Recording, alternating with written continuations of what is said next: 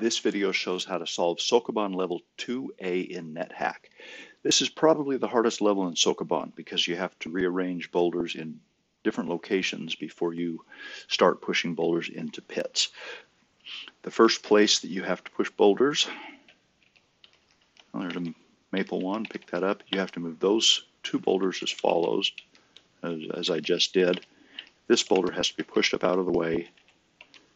Pick up the 10, this boulder has to be pushed over here out of the way. Now I can start concentrating on pushing boulders into pits. Start with that one, but I have still some rearrangement to do. I have to push this one up and this one over too.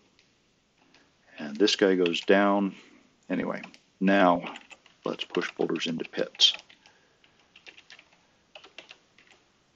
This boulder that I pushed out of the way can now go there I'm a wizard, so I'm using force bolt on this level, but you have to be careful about force bolt.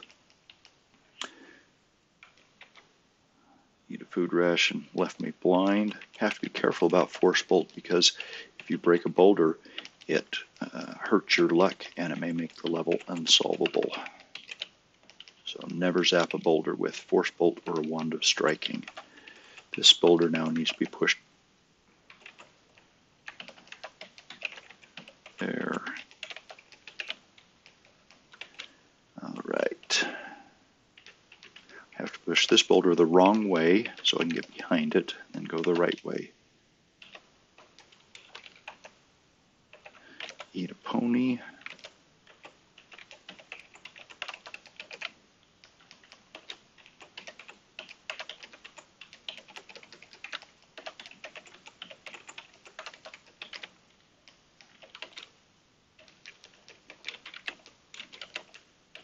Golem. So in this level, you have to concentrate generally on pushing the boulders to this location. Then you push them up and around, and then you're able to get behind them and push them into a pit.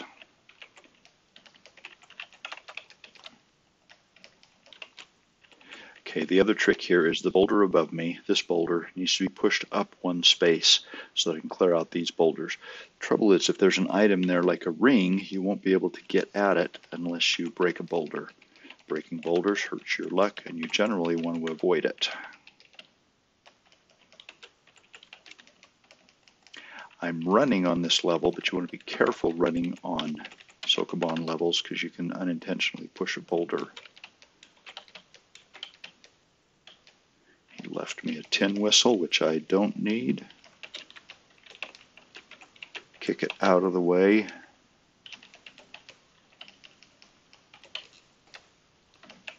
So I don't stop there when I run. Okay, one more. I typically, before I leave a level, I make sure I have pushed all the boulders at least one location. So because there might be items under them. That is how you solve level 2A in Sokoban in NetHack.